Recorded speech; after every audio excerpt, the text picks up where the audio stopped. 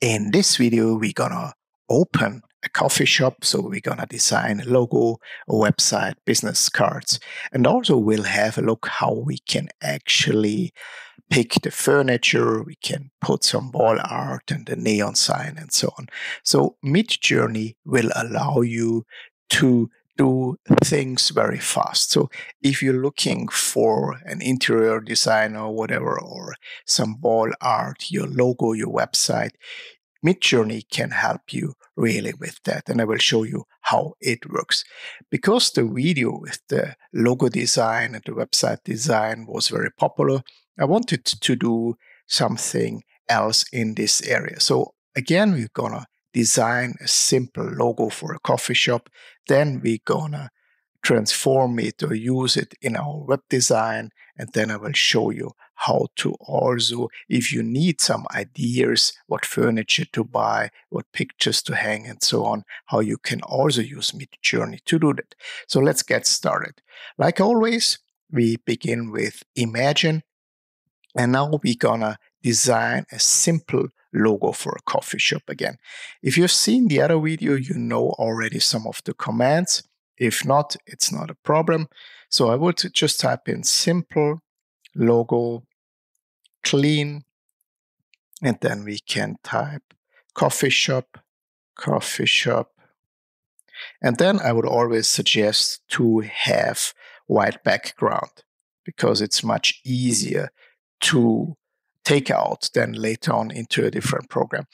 So let's see what comes up here what versions Midjourney will create for us. And then I will show you how you can take these versions actually and import them or export them first and then import them and then use them in different tools and modify them because you will see that the problem with Midjourney is if it creates logos, you can't really use the text. Midjourney is very bad in using text. I also used to tell Midjourney or try to tell Midjourney that it shouldn't use text in the image, but it was not possible. So if you see here, if you make it bigger, it's pretty nice logos already, I would say. And as you remember, if you want to have some more versions, I will just click here. If I prefer one of the versions, so let's say this, it would be my favorite version here. This would be number one, two, three, and four. So if I want to make that bigger, I would upscale number three. If I want to have some more versions of number three, I will just click here and make new versions. We can do that. And I can change the prompt in here if I want to, but I will just leave it like it is for now. And it will generate four more versions of version number three for me. In the meantime, we can do some other stuff. So I will just show you what we can do also make some variations maybe. So we can implement some other words, let's say vector, vector flat, 3D, and then again, coffee shop, logo, clean, and then we just say white background, white background. And I also want to show you this logo without the white background so you see what I'm talking about. It gets, uh, the variations are nicer sometimes because Midjourney are putting these logos on interesting objects, but it's really hard to take it out if you need it. So let's see what we created here. This, as you see, are four more versions of version number three that we had before. Also here, very nice, it already made some coffee cups for us. It made some kind of business cards down there. So really nice variations here. Here we get some new variations. You see with the other style, this would be the 3D, the vector, and so on. So it's a little different style. I also like it. It's nice. And the last one would be without the white background. And this is also fine, but it can be pretty hard to take, for example, these first two versions out here and import it into a program that you want to work with. So now what you're going to do if you want to pick a logo. First of all, I would suggest to upscale the logo if you decide you want to use one of them. So let's just click into our first versions maybe, or let's just take this ones. And then let's decide we want to take logo number one, which would be this one here. I'm going to upscale number one, and then we will take it out later and use it into Canvas. And I will continue here. The next step would be now to generate also maybe some business cards. So you could go ahead and type in imagine. You could say business cards and again coffee shop, coffee shop, clean style, white background, and just try what comes out. If you want to have any of your existing logos or any of your existing images inside of these business cards. We could try to just use this one, which just upscale now, and you would click on it. You copy the media link down here. And what we can try is we go again inside and say imagine. We have the image link now, but now we, we write business cards clean style white background and we'll see if it has an impact. So Midjourney should try now to use the image and put it in the card in any way. So here you see you have also nice variations of business cards. So this can help you again. You have now the logo, you have now some variations of business cards, and at least you could give these ideas to a designer and you could re uh, you could remodel them, so regenerate them as long as you need to find a version that you like. And this, like I said before, was the version we upscaled. This is very easy now to take into Photoshop or to take into some other program like Canvas or so to cut it out and use this in a business card. We can do that. We can just go ahead and save it. Then you could just go over to Canvas. Then you could just go over to Canvas. And what I did in here, in this case, I already typed in business card coffee. And you see these business cards come up. So if we would like to use this business card, for example, we could use it. And then you would just go here to upload, upload file, photo library, take our image, add it here. Then it starts uploading here already. And then you can simply take it I would remove this one and you can just drag and drop it over here. The problem, oh, it's not really a problem, but as you see here, you have now this gray background. You could leave it, you could make your business card gray by just adding, for example, another gray element here. You would just click on here, you would pick this one, you would put it here. Then you would take a look at the gray, which will be indicated. You just take it and fill it. And this one you just take in front position and forward. So this will be always in front. And then you just go ahead and fill this. And you have to find the right the right gray here. You see it's not really matching. But what I uh, would recommend is to click on it, edit image, and then you remove the background. And most of the time, Canvas will do a pretty good job in doing this. Sometimes the results are not so good.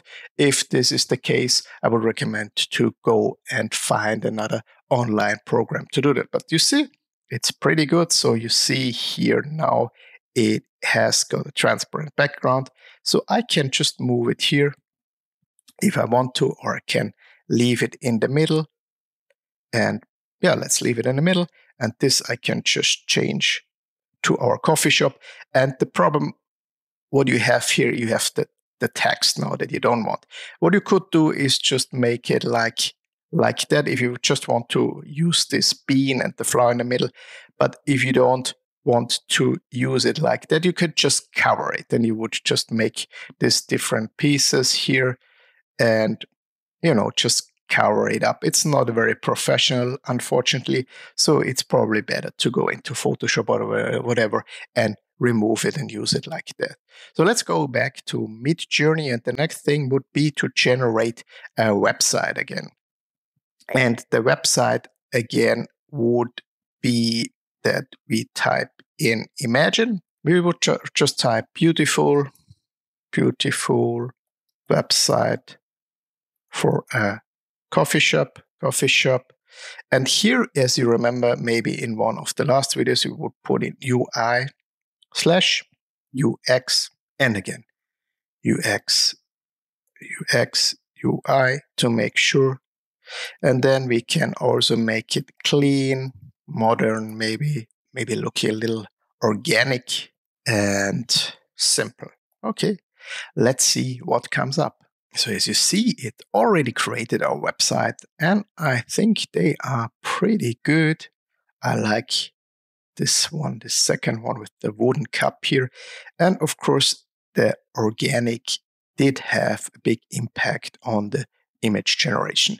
So if I want to use this one and work with the second one, basically, which is this one with the wooden cup or however you want to call it, I go ahead and make more versions of it because I want to see if it actually can give me more interesting ideas. So I would just go ahead, pick the version number two, and make four more variation. And I get four more variation because in my settings, I have the remix mode enabled here if you wonder why that is. Otherwise, it's possible that you just get one new version. But with the remix mode, I get four more versions and I'm getting this even better versions, I would say. So I really like the first and the third version, I would also say, but the first version is a little cleaner.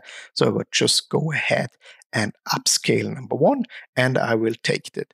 And with the website, of course, it's a little more difficult to get the design out of it. You could give it to a designer to slice it for you, to put it in a special program, to get the HTML or, or everything you need to make it a website. So there are some AI tools already out there that we're going to take a look in some of the next videos that will help you to make your website much easier. In this case, I would just suggest here to download this upscaled version of the website, then we will go back to uh, image editing program. If you don't have any, I would recommend to, to use Canvas or whatever.